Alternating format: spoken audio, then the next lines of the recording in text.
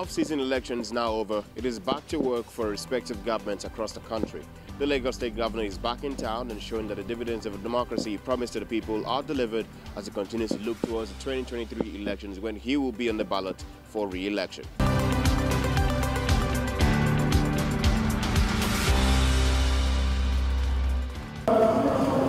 Marking three years since the Babajide Sanwo-Olu administration took office is the purpose of the special prayers at the Central Mosque.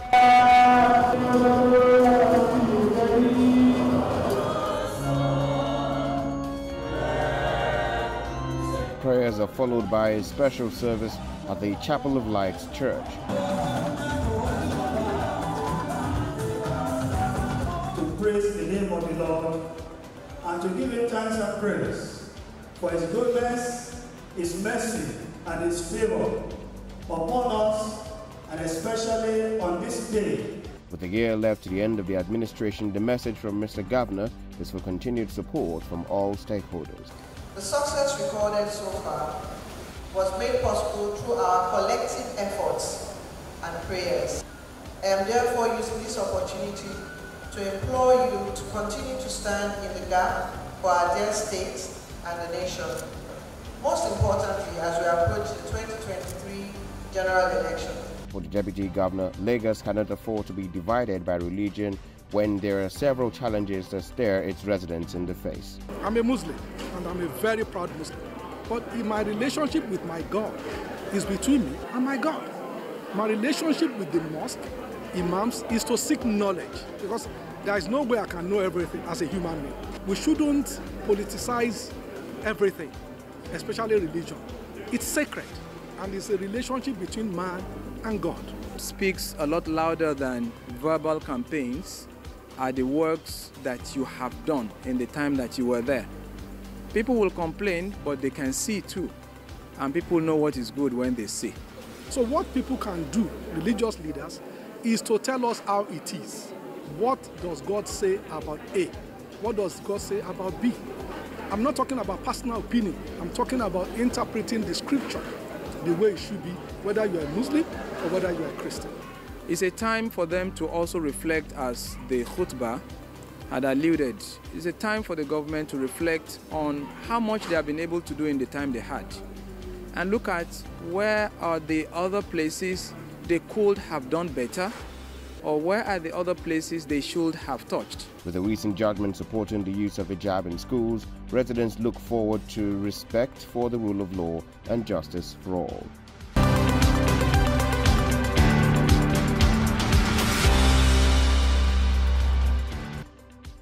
With cases of urban migration leading to the death of several people around the world, the conversation around refugees and migrants have dominated several global international discourse in recent times.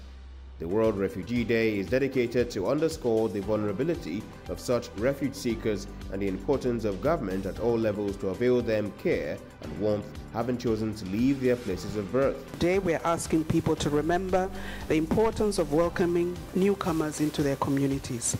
Those who have been forced to, to flee bring more than just a bundle of clothes if they're lucky. They come with so much more. The Global Compact is not legally binding, but it represents the political will and ambition of the international community as a whole for a strengthened cooperation and solidarity with refugees and host countries. We encourage countries around the globe to provide more funding for unmet humanitarian needs. And we also call on private sector entities to see what more they can do for the forcibly displaced. According to the Federal Ministry of Human Affairs, this year's celebration and the subsequent recognition of Lagos as a city with refugees underscores the role Nigeria has played for refuge and asylum seekers from across the continent and the world. Nigeria is host to 84,000 refugees and asylum seekers. Cross River State alone hosts 41,000 of them. Most of the refugees reside in Cross River, Akwa Ibom, Taraba, Benue, Lagos State, Kano, and Borno State. The signing underscores the place of refugees, asylum seekers, stateless persons, and all persons of concern in the heart of the executive governor of Lagos State because they have always been particular about um, the persons of concerns under his leadership. Also, to further provide support to persons of concerns and build resilience, the Honorable Minister of Humanitarian Affairs, Disaster Management and Social Development have graciously approved the capturing of persons of concern, especially IDPs and refugees, into the various social investment programs like the JIP, the N-Power, the N Skills, and so forth. In 2021, the Honorable Minister of Federal Capital Territory, FCT, Alhaji Mohamed Musa Bello, signed Declaration of Abuja as the city with refugees. This was a landmark development. It, is, it underscores the place for refugees and asylum seekers and stateless persons and other persons of concerns in Nigeria. Today, the signing of the Declaration of Lagos as cities with refugee by His Excellency, the Executive Governor of Lagos State, Mr. Babajide Sanwo-Olu, is a defining moment with global significance. The signing underscores the place of refugees, asylum seekers, stateless persons, and all persons of concerns in the heart of the Executive Governor of Lagos State. Office of the United Nations uh, High Commission for Refugees in Nigeria has registered over 82,000 refugees and 1,556 asylum seekers from 34 countries as at 31st of May 2022. Majority are Cameroonians uh, with a figure of more than 77,000 and the registration is ongoing. Out of this figure, Lagos State hosts 100 refugees, 1,000 uh, refugees, sorry. The choice of this phrase is apt because in February 2022, the world witnessed what is near calamity when Ukraine was invaded by Russia. There were apparent sh uh, show of discrimination and racism as the black amongst the fleeing population were discriminated against and Nigerians were included in this. For the governor of Lagos State, the center of excellence being the economic hub of the nation and West Africa means the population of the state will only continue to increase assuring that there will be no discrimination against anyone. That Lagos continue to remain the land of great opportunity, you know, for all, for all. And that's why, as your leader, as your governor, we will continue to provide that ambience, that space for you. No matter your religion, no matter where you come from, no matter what your beliefs are, you know, no matter what your political coloration is. The governor goes on to sign the declaration, further making Lagos conscious of its role in the international space.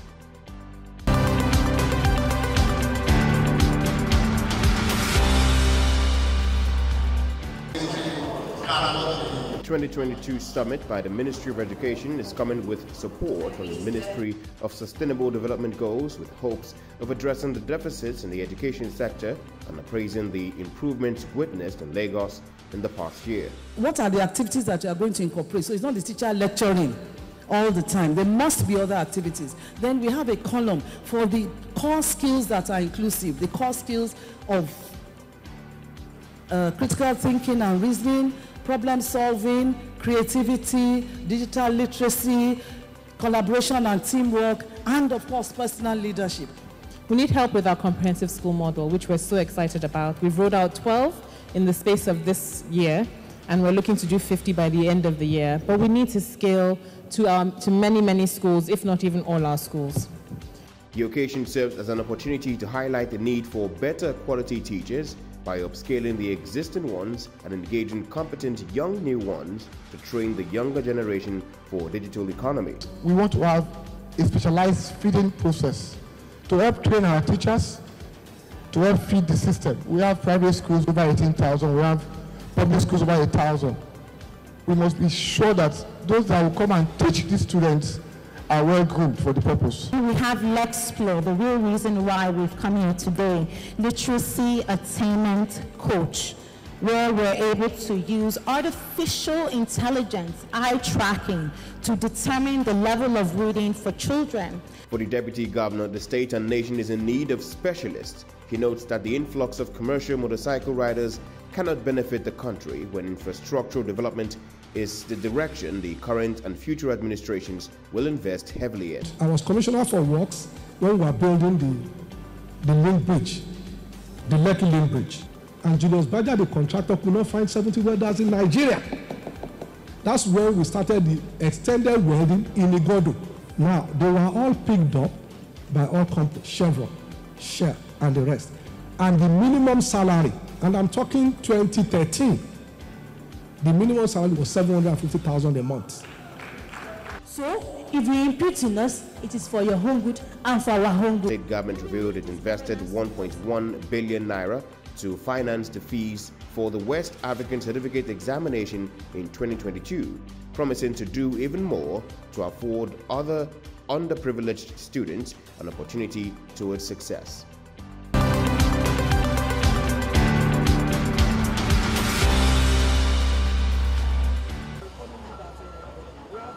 The collapse of a 21-story building in Lagos in 2021 came as a huge shock to residents, with the casualty figure of 45 people drawing attention to a pertinent issue across the state. The state government subsequently set up a six-man panel that investigated the collapse of the structure owned by Messrs. Fourscore Heights. One of the recommendations was for the other building within the same vicinity to be brought down, having both failed integrity tests as the state looks to enforce that recommendation. What the government was concerned about, it was to find out the reasons for the failure structurally and come up with um, recommendations to avoid such incidents in future. And for us to be able to do this, we have uh, searched far and wide, and we have uh, really put so many things on the table before we came to the conclusion However, in order to prevent another incident, the state government has opted for a more controlled demolition, which will be completed within 90 days. Is to take out those buildings piece by piece, as if you are unscrewing every portion and taking them down. So we have a crane, a tall crane above the building, and that crane will suspend people on the building so that their weight does not bear too much on that building. There is more though as the state government will confiscate the landed property as is within the ambit of the law when such an incident occurs. The property as, as it is is forfeited.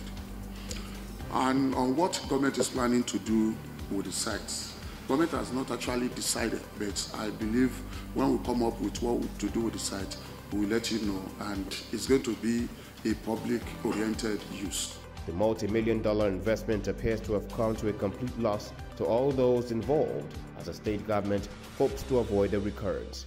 The 21-story structure situated at 44 BCD Gerrard Road in Ikoyi, Lagos, had on November 1, 2021 collapsed, killing the owner, Mr. Femi Osibona, and 44 others.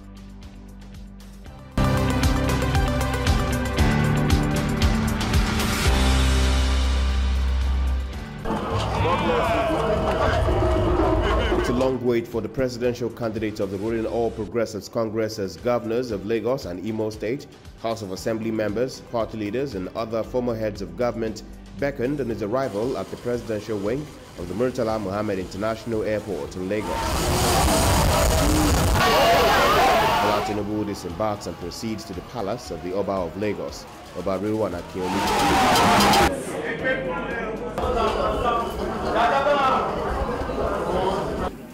thank God for Lagos. And I thank God for Almighty and Kabiesi for the process of decision that brought two of you. And all will be well with all of us. We are equal in the eyes of God, we are not equal in the love of God. All our friends from the north shall be too much to be like. We all return home safely. See our governor and the deputy. God Almighty Allah will be with them.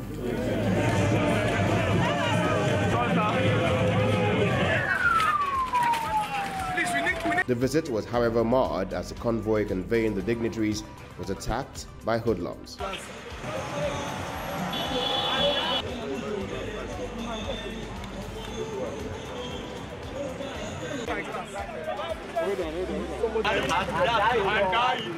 Press team was worst affected as the bus conveying the journalists looked a shadow of itself. People are, traumatized. Journalists bloodied, requiring medical attention. The Lagos State Governor Babajide Sanwo-Olu has called for an investigation into the incident, challenging the State Police Command to take action against the perpetrators.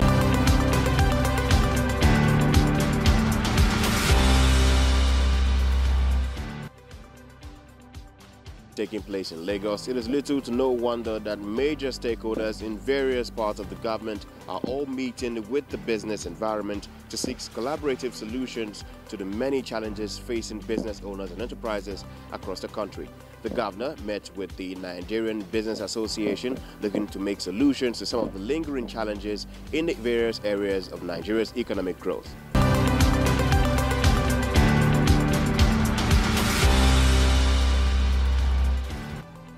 The Lagos State Governor Babajide Sanwo-Olu has said that the private sector will have to play a key role if Lagos is to transition from a third world state to an economic megacity.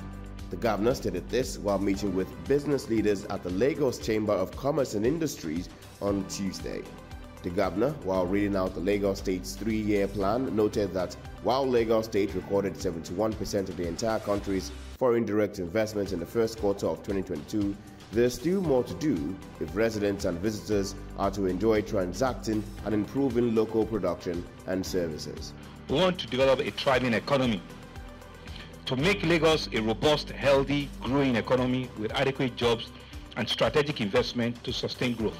This is one of the strongest thematic things that we gave them that we're, that we're bringing back. So a thriving economy. We believe it's important for us to have a sustainable growth path for the next 30 years. The second um, point is a human-centric city. We believe with the 20, 20 something million population or so, every Lagosian will have access to affordable world-class education, healthcare, and social service. And so the dimension for the Lagos Development Plan 2050 are to be achieved via 400 plus policy initiatives that are to be executed over the next 30 years. And so Lagos is hopeful that in the discourse that will lead to the establishment of this new pathway that will facilitate the successful implementation of our 2052 development plan, we're optimistic of having a more robust engagement with stakeholders like yourselves, you know, the LCC, I, and other stakeholders like yourself, wholesale and retail commerce, food, beverages, in all spheres of life. For members of the Chamber and other business leaders, responsive and adjustable policies will be a key indicator that any state government is taking key interest. We want to thank you.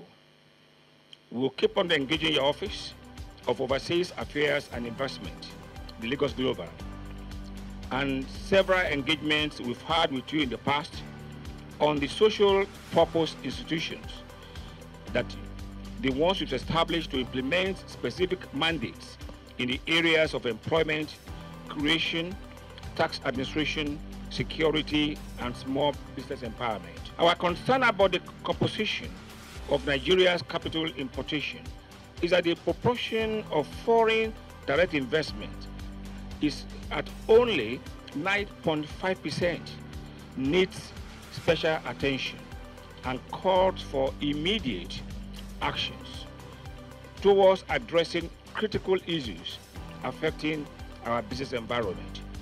With an improved business environment, the state can attract capital inflows from Nigerians in diaspora as a more sustainable source of funding for the required infrastructure. The enormity of needs in Lagos State requires the cooperation of both the public and private sector funding and a good mix of foreign direct investment.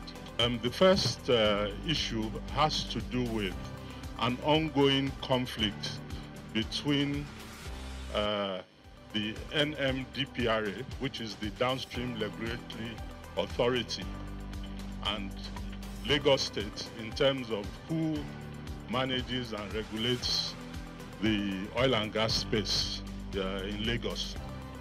I've received some complaints from the local Chinese community. For example, there might be some land disputes as mentioned by some honorable CEO. I just want the state government I urge the authorities to protect the Chinese community's legal rights. Some of the infrastructure we try to put in to be able to kind of um, improve on the adoption level. And these two infrastructures are the, the terminal we have at Kirikiri I think 8,400 uh, metric tons facility, and then the cylinder plant, manufacturing plant we have at uh, towards the Ekpe axis.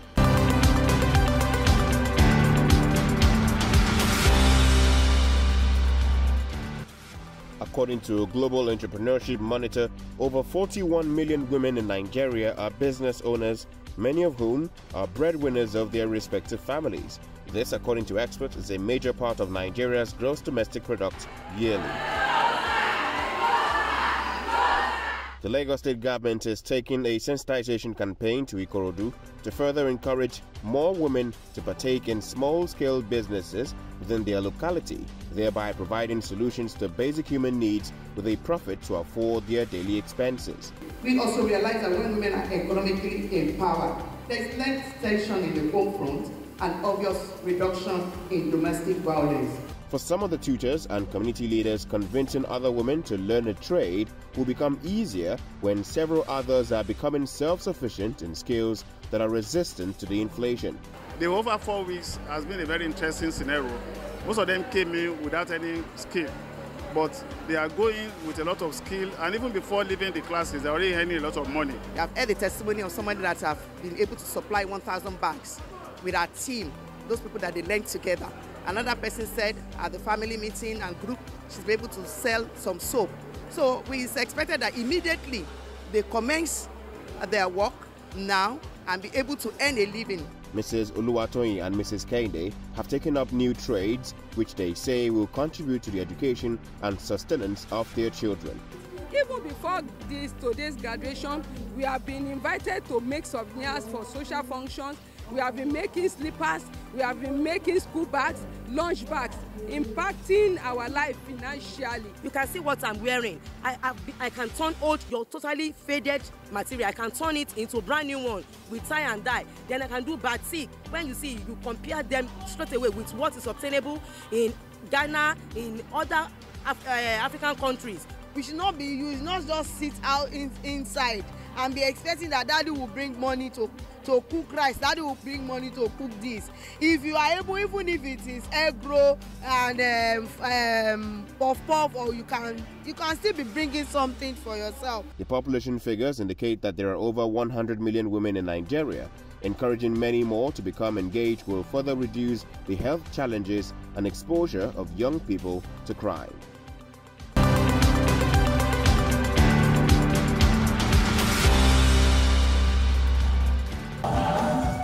Small-scale business owners raised their stand as the Lagos state government hosts an exhibition for artisans to showcase their products to state officials and potential customers.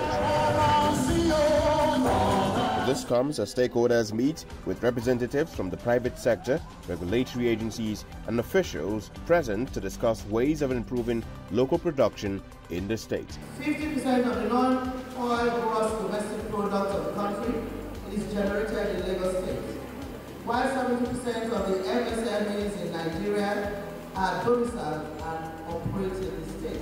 That's to, uh, to a conservative estimate.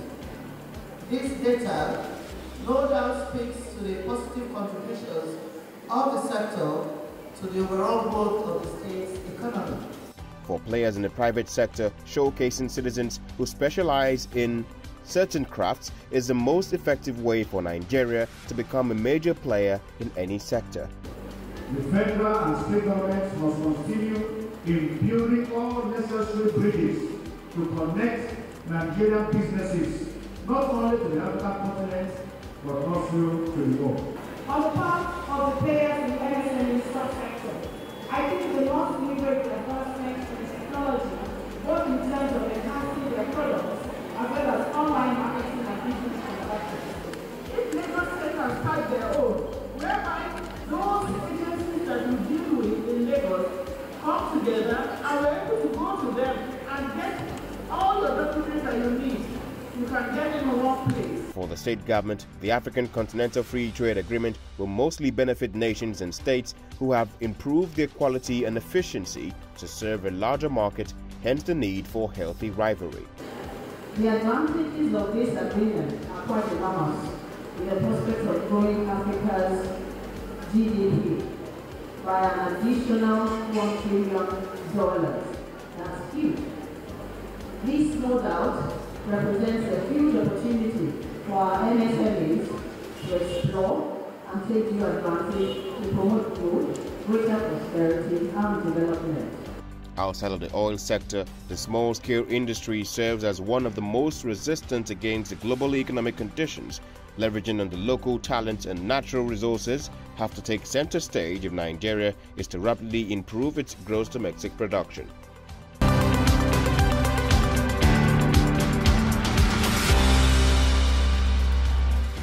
With the business community assuring their support to the Lagos State Governor and the Governor assuring that the state will continue to provide an open door policy for all stakeholders in the industry. Lagos will not just continue to be the economic nerve center of Nigeria, but Africa as a continent, as the African Continental Free Trade Agreement continues to become a thing of reality. That completes our episode for this week. Until next time, I am Wilson Omoniyi, and this is Lagos.